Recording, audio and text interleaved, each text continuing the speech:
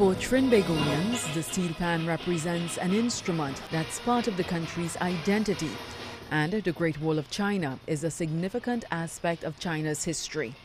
Well, to celebrate the 50th anniversary of diplomatic relations between Trinidad and Tobago and China, steel pan music vibrated off the Great Wall, marking a historical moment captured in a video production. Steel panist Joshua Regrello performed two songs, a Chinese classic, Jasmine Flower,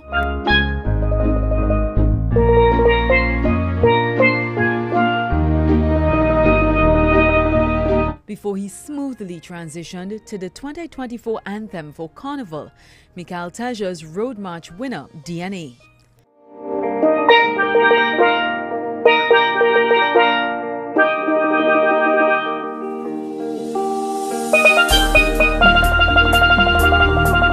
According to the Ministry of Foreign and CARICOM Affairs, the facilitation of the video is through collaboration with Chinese social media company Kuaishou and Huawei Technologies on June 17th.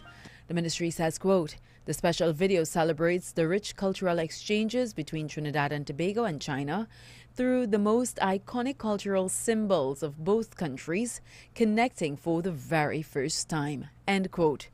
It also revealed that two days after the filming, Regrello visited the TNT embassy in China to engage with music enthusiasts in that country, where he was able to give insight into the history and development of the steel pan, as well as the instrument's musicality and range.